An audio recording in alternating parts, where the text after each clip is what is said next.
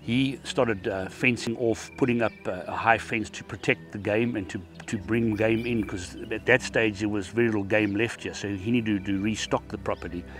And uh, a lot of the farmers in the area said to him, um, You're going to end up with the best fenced cattle ranch in the country. And uh, he just persevered with his idea and uh, four years later started the hunting.